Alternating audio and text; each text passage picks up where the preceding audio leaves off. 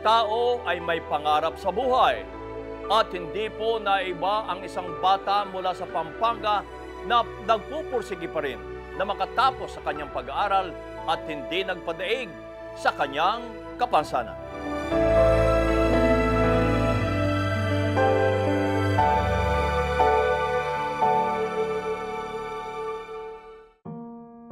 Higit isang oras mula Maynila ay mararating ang bayan ng Candaba sa Pampanga.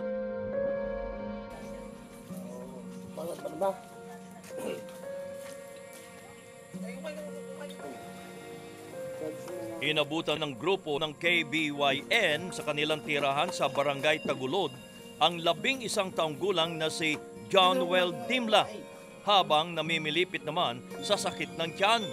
Sobrang sakit yan mo. Kaya na. Makailang beses din siyang sumuka. Hanggang pinilit ni John Well na kumain ng agahan para makainom ng gamot. At matapos magpabalik-balik sa banyo, mas pinili ni John Well na mag-ayos at pumasok na sa klase. Dahil sa oversize niyang mga paa, binilhan naman si John Well ng kanyang tatay ng malaking sandals at medyas para naman meron itong sapin sa paa. Ayun, nakahanap ng isang sandals na sinusuot. Ni-repair ko.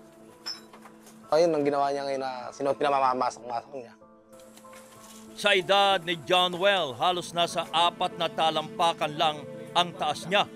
Pero ang sukat ng kanyang mga paa ay aabot sa labing tatlong pulgada. Ang kanya namang kanang puwetan parang may lobo sa laki kung titingnan.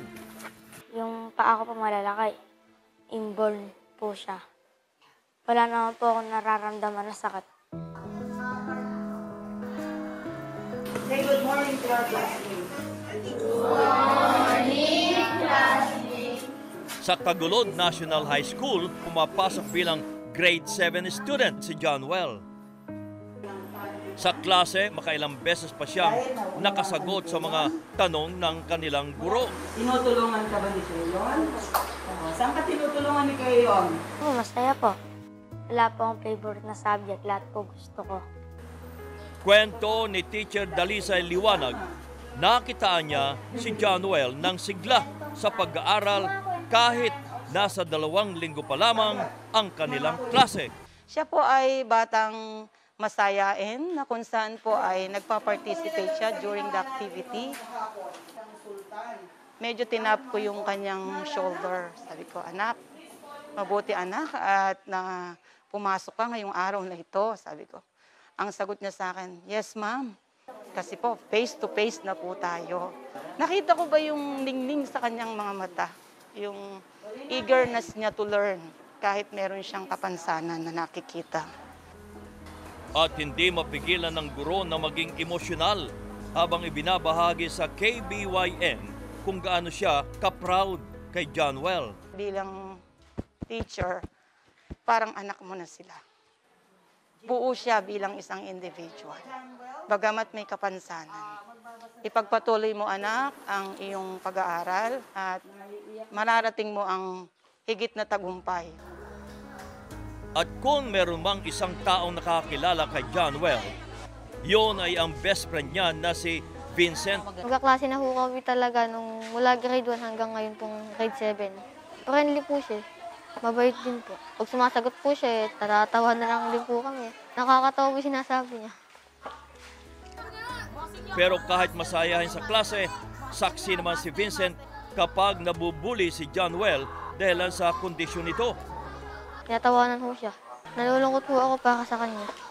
Mad- madalas pong binubuli siya pero hinahayaan lang po niya. Si John Well ang itinuturing ni Vincent na isa sa kanyang inspirasyon. Pag nakikita ko po siyang hindi uma-absent po, nakikikayat na po ako nun. Parang ayoko na rin po umabsent. Gusto ko po maging humabay pagkakaibigan namin kasi po mabait siya. Pag uwi galing klase, paggawa ng mga takdang aralin, ang agad na pinagkakaabalahan ni John Well. Palagi po sa akin binibili ni Papa mag-arap pang mabuti. Gusto ko maging engineer. Gusto ko paglaki umang bahay. Kasi po yung bahay po na hindi po sa amin yun. Pagkatapos mag-aral, diretso si John Well sa paglalaro.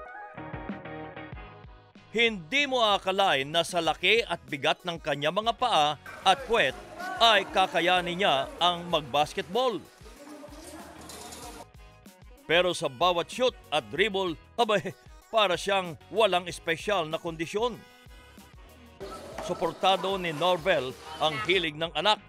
Hanggang kaya, nais niyang mamuhay ito na maayos na bata. Pinaliwanag ko na yung pagkasipot sa kanya, na gano'n siya. Sa San Din Hospital, pinatingnan ko siya. Pag wala sa basketball court o bahay, pagpapastol naman ng kalabaw at mga kambing sa bukid ang pinagkakaabalahan ni John Well.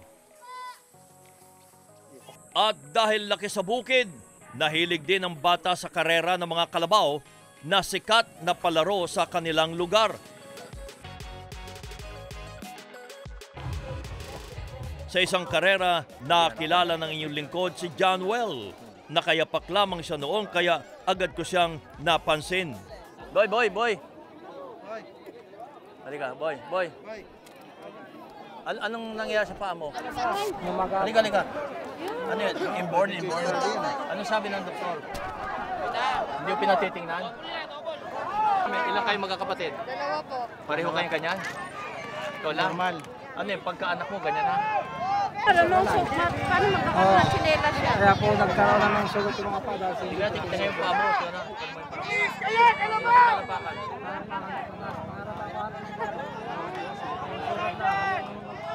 Wala sinabi ang doktor dito.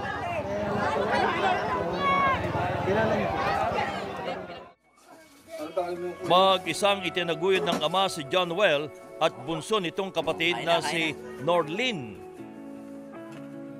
May dalawang taon na rin mula nang hindi magparamdam ang ina ng kanyang mga anak. Paalam sa akin, mag-a-upload daw siya para daw mapagamot yung anak namin at makapagpagawa ng, ng kahit isang maliit na bahay. Eh kaso, nung napunta sa abroad, biglang hindi na kami tinawagan. Nung una, tagang pinilit yung contact, dahil kasi nung una, gaalala ko. Kami pa mismo tumatawag. Sabi ko naman sa ano, eh, umuwi ka na ako dito. Ayusin ka ako natin para ako sa mga bata. Eh, sinakinausap namin ako nung ni John Noel. Eh, may iyak. Eh, papa, ikaw, wag mo na ikang balikan si mama. At nang tanungin naman ng KBYN si John Well tungkol sa kanyang ina, katahimikan lamang ang naibigay niya. Kung nga mapanood niya to. May gusto ko bang sabihin sa ano? Sabi, Mabigat man sa loob ni Norvel ang kondisyon ng anak, wala naman siyang sapat na halaga para maipagamot ito. may namumong mga nanasa pa. Pagka ano, kung mga limang araw, isang linggo lang, hindi nakakalakad, hindi may dating hindi nakakalakad yun. Kaya sabi ng doktor, pagka inoper, na-opera, ano, baka ma-paralyze, hindi na makatayo.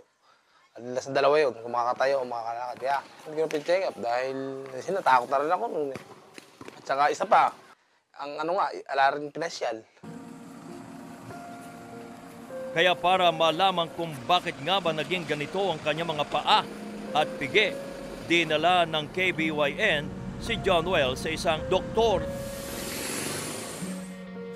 At base sa kanilang pagsusuri, Siyempre, may kita talaga natin na meron talagang deformity. Kaya ang advice natin, siyempre dapat din makita ng mga specialista gaya ng mga orthopedic surgeon, ah, pediatrics. Kailangan din kasi mapunan din ng mga tamang ah, assessment pa, no? Kasi maari din silang magpagawa ng mga ibang laboratory test. Mag-rule out din ng mga infection. Pwede din gawin kasi mga biopsy para ma-rule out natin kung ano ba talaga yung nangyayari at tamang diagnosis maaari kasing sabihin natin is congenital. Ang problema lang kasi, maaari din kasing series of surgery kasi ang pwedeng gawin nila dyan, no? Kasi kailangan din natin kasing itama kung ano ba talaga yung tamang anatomy, tamang position ng kanyang mga toes din at yung sa kanyang paa.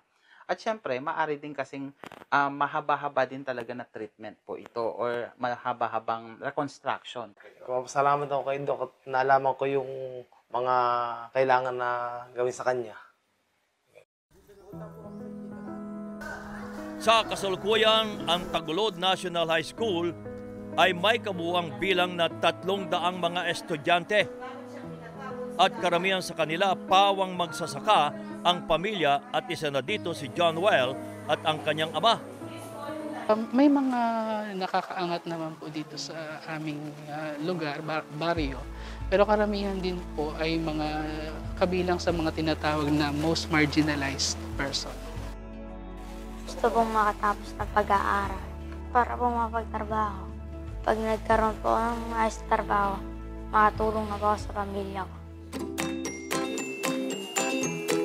Kaya para kahit papano makatulong sa mga mag-aaral na mahagi ang KBYN na mga school bags mula sa inyong lingkod.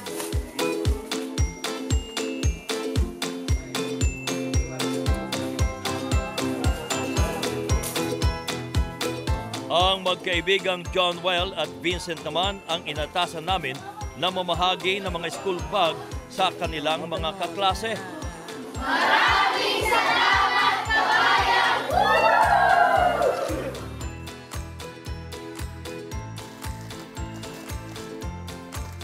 At para sa munting pamilya ni John Well, nagbigay ang inyong lingkod ng ilang sako ng bigas at mga groceries. Surprise! O, sige, isa kay ni Kuya, ha? Mm. O, Kuya, ikaw, nalagay na kanina, eh. O, ito sa'yo rin. Ha? O, kuya, bigay mo sa mga pisan mo. Ano eh? Mahaba pa ang lalakbayin ni John Well sa kanyang buhay pero isa lang ang sigurado. Yon ay ang determinasyon niyang makatapos ng pag-aaral at ang suporta ng pamilyang labis na nagmamahal sa kanya. Para po sa katulad pong may kondisyon. Nagsikap lang po tayo sa buhay. Laban lang po.